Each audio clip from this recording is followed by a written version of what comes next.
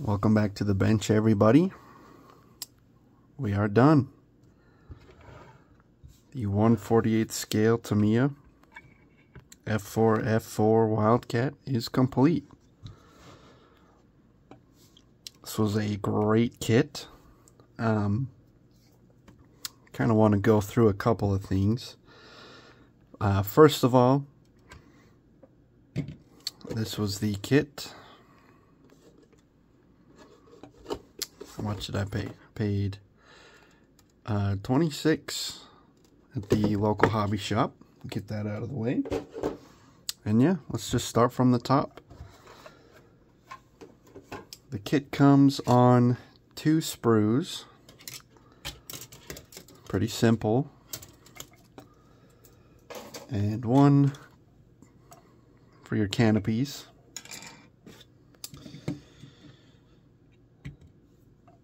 Comes with a decal sheet.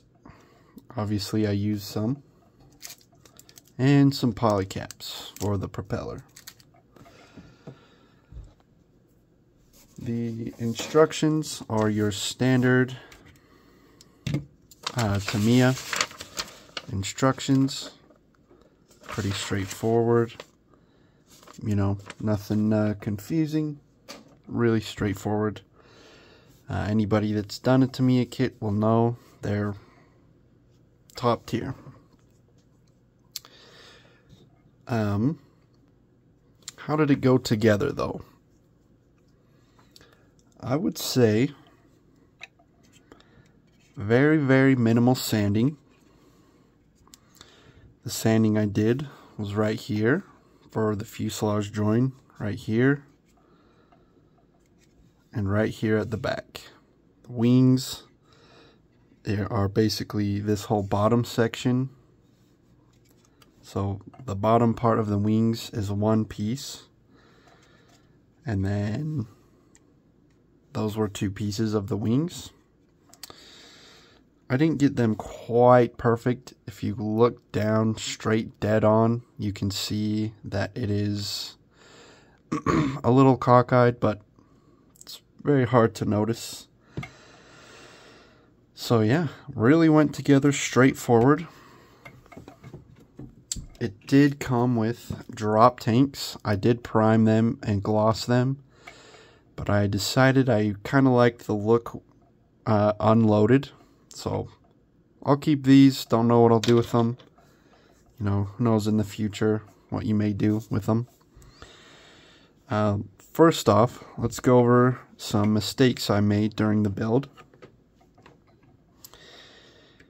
As far as putting it together goes, I did as as careful as I tried to be, and I'm always thinking about it.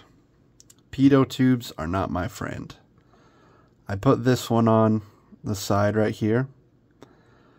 I did break it off once, and so I actually didn't put this um, little uh, control arm, I guess. I'm not exactly sure what it's called. Somebody can correct me. I actually put that on tonight right before the final mask um, because I knew I would break it off. The decals, I definitely messed them up. Um, but I am going for a more weathered Wildcat. So I decided to make them work. Um, I'm not sure if it does, um, if it looks worn or if it just looks like uh, ripped decals. This one kind of does because it looks weird.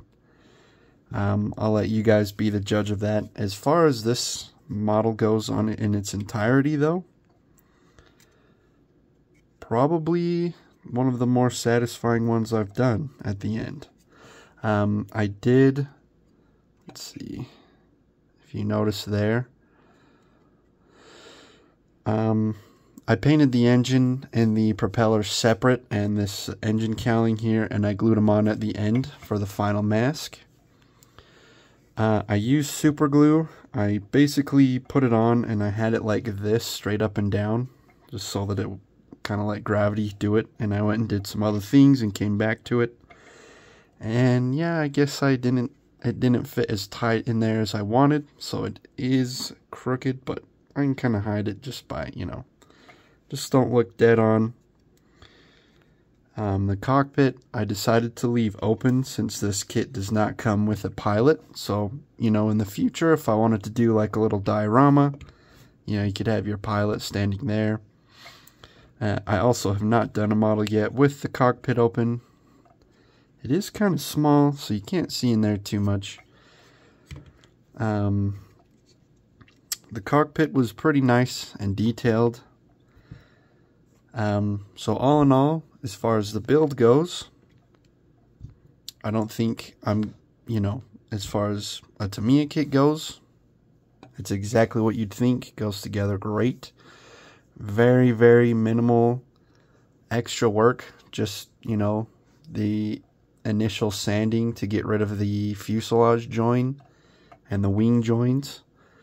Just so you don't see the line there. And that's really the only problems I had besides breaking off this pitot tube, which is alright as it is back on. Painting. As far as painting goes, I used Vallejo primer for the cockpit. And then just your Tamiya XF4 yellow green to give it that zinc chromate look. Um, as far as priming the whole plane, I used Mr. Surfacer Aqueous. This is probably my favorite stuff I've tried. It's extremely durable, dries really fast, and it adheres well. And it's more of a semi, I don't know if you can call it a primer, a, a gloss or matte. Usually they're matte. This almost dries more like uh, in between. Um, that's why I get this 1000. They do make a 500 if you want a more rough matte look. Um, paints. Um, so I primed it. I glossed it black with Tamiya X1.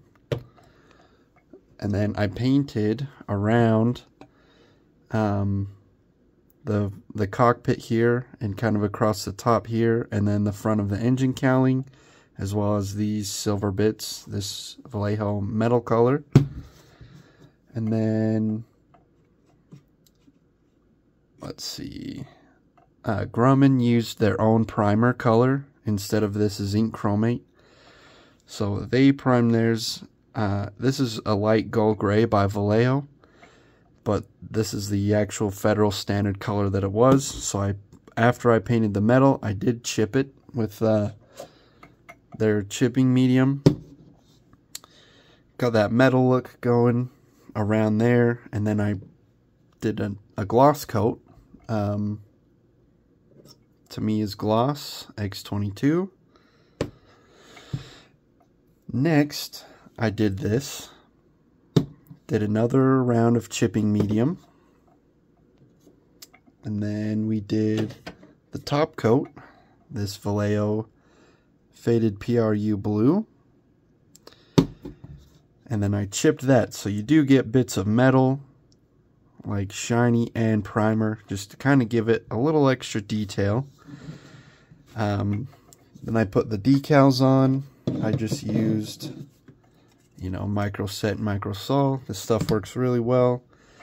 Uh, I am curious of more of a one-part system, but it worked really well for me after decals. Oh, I also did the uh, bottom of the uh, cat here insignia white. That is also a federal standard color. I don't know if this is. It doesn't have it on there. But this was the kind of... I like that lighter blue look that earlier uh, in the war that they were painting. Um, and I weathered the whole thing. oops, hit my light. I weathered the whole thing with streaking grime, and then I took off as much as I wanted till it looked a little more natural. And then I kind of did some more detailing with this weathering master.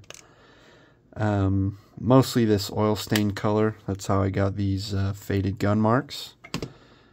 Um, and that's about it. Um, I would say of all the kits I've built, this one really gave me minimal frustration. And it really was a good time. I didn't really have to fix anything minus this tube. And I think as far as this is kind of the first one I've really tried to weather, I think it turned out really good. Um, I did want to show all this stuff just so you can see kind of what goes into it. Um, I do watch a lot of videos. I like seeing other work people do. And sometimes I am curious as to how, you know, they got certain effects. So yeah, this is basically everything that went into this kit. Obviously, there's some glue and stuff. Uh, you know, use whatever glue you like.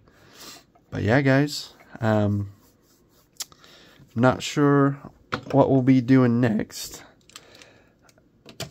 Part of me, I, I, I did just complete a Japanese plane, the KI-61 or Ki-61, however you want to say it. So, part of me wants to leave World War II for for a model. Maybe do that. Uh, I, I'm either gonna do an F5E um, or that MiG. I do have a F18, um, but part of me isn't sure if I want to start that one yet, as it is going to be a more in-depth build. Um, most likely it's going to be that uh, MiG-21 from Academy. It's a 172. It'll be a, a, a more quick project. Um, but yeah, as far as uh, this Wildcat goes, I've really enjoyed this build. If anybody enjoys Wildcats, and they haven't done this Tamiya kit yet, I would highly recommend it. Um, so yeah, guys. Um, let me know if you guys have done this kit before and your thoughts on it. Um, but yeah, hopefully everybody else's projects are going well. And we'll see you in the next one. We'll uh, we'll announce which ones I'm starting next.